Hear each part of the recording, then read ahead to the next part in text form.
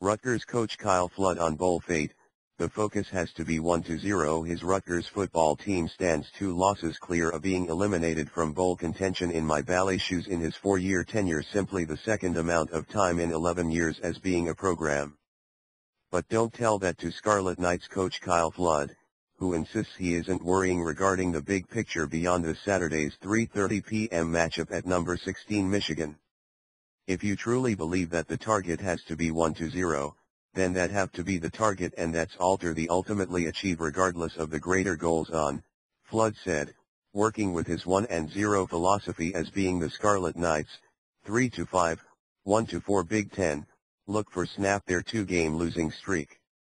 Flood said as you move the goal of qualifying for any bowl game is discussed inside the off-season, the one game at a time approach takes over once the season begins.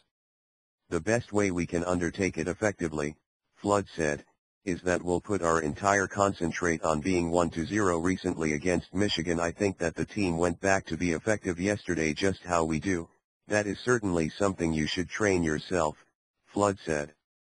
It's difficult. It's not easy.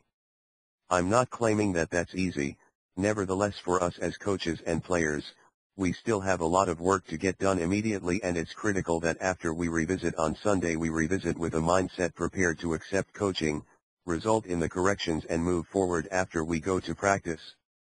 I thought they moved around perfectly at practice last week Keith Sargeant, Kyle Flood, Piscataway, Maryland, Facebook, Muller, New Jersey, Hicks, at K. Sargeant Tunjay, Tier 1 teams, college football, Rutgers football.